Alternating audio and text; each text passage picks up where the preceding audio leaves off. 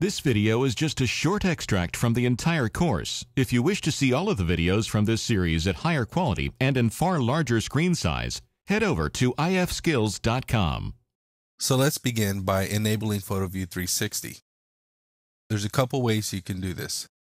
Here in the standard toolbar, you can access add-ins by clicking the downward pointing arrow next to the options button and select add-ins. After clicking on this, you'll see all the add-ins that are available with your installation. To start PhotoView 360 in this window, select on Active Add-ins and click OK. The first box up here will only load it this one time, and the next time you start SOLIDWORKS, it will not load it again. If you wanted to automatically load up every time you start SOLIDWORKS, you can select Startup, and this will start the program each time SOLIDWORKS is loaded. The second way is a lot easier. In the Command Manager, click on the Office Products tab and just click on PhotoView 360. Once PhotoView 360 is loaded, a new tab will be added to the Command Manager called Render Tools. There's also a menu pull down containing the same options that are listed in the tab of the Command Manager. In the Command Manager tab, the first three buttons allow you to change the appearance, edit the scene, or edit the decal.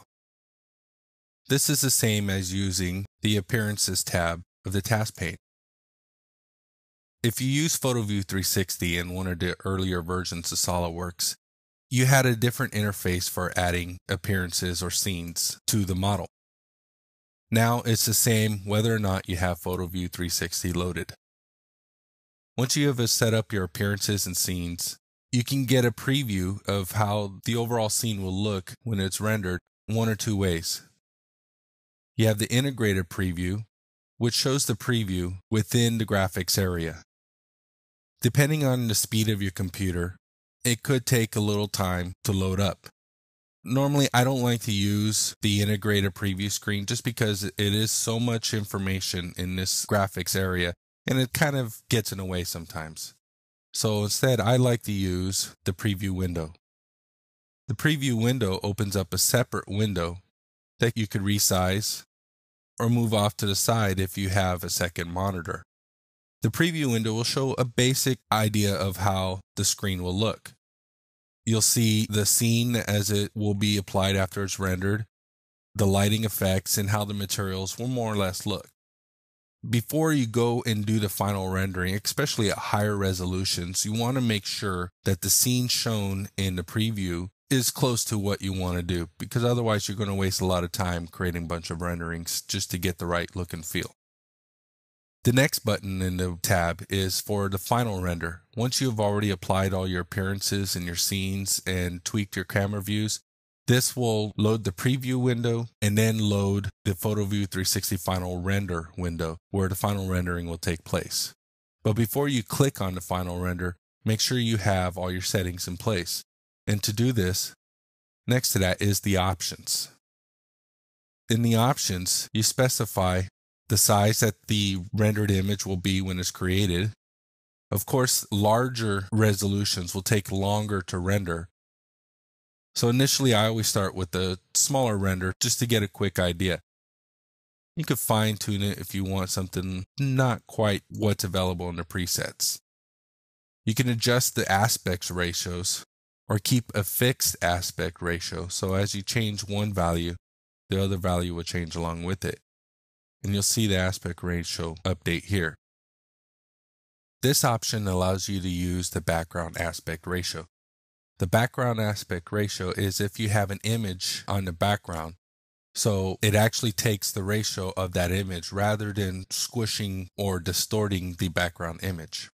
The next option, you specify the image format that you want to create by default. You can change this when you actually go to save the image that's rendered. But initially, it's probably better to select which image you're going to be saving it as. The location where the image will be saved after it's rendered is shown here, and you could change it by clicking on the browse. The next section in the property manager is to change the render quality.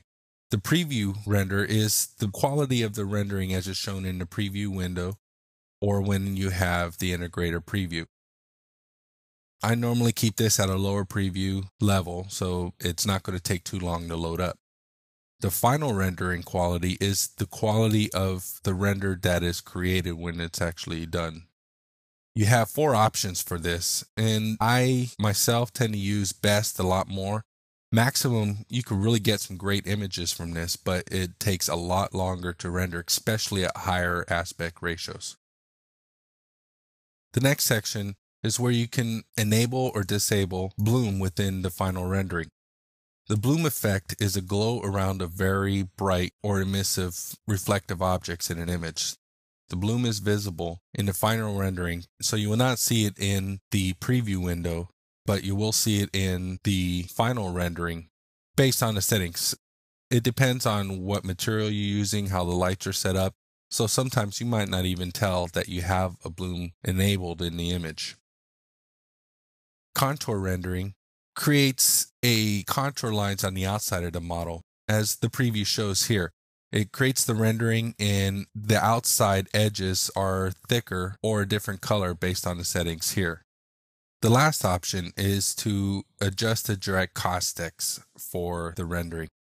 This controls the number of photons that are shot at each pixel within your image. It's a little more of an advanced rendering, so if you don't need it or if you don't know how to use it, it's not a big deal to leave it out. If you need to know or you forget any of these areas, a really helpful thing is to turn on the dynamic help here at the very top of the property manager. When you turn on dynamic help, when you hover over certain areas, for instance, the caustic value, the pop up will show a description of what that field does. Once you have set all your options that you want to do, click OK. Then you can create your final rendering. So to create the rendering, just click on this button the preview window will load up first, then momentarily the final rendering window will open. Depending on the size that you set and the quality, this rendering process can take anywhere from a couple seconds to a couple minutes. So as it's rendering, you'll see these squares jumping around the screen. These are called buckets, and these are based on the number of cores available on your system. So I have an 8 core processor so it flies through. If you have a dual core or a quad core, you'll see two to four to eight. So this whole image took 51 seconds to render. And this is the final rendering that came out of it. You can make adjustments. You can close this window, go back and make adjustments to the image. If it's exactly what you want and you're good with it, you can save the image by clicking save image and you'll be able to save it. You could also save a layered image as a PNG file, which will save the layer of the actual model as one layer. And then the background will be a different layer. So you can bring this into like Photoshop and have a alpha channel. So this could be used in different applications. And then last but not least in this window here is these buttons that are available here. These buttons allow you to view previous renderings that you've done. So if you, for some reason, forget to save an image that you created, you can go back through some of your previous ones and then save it at that time. You have 10 slots here. So once you filled up 10 slots, then it will start over again at zero.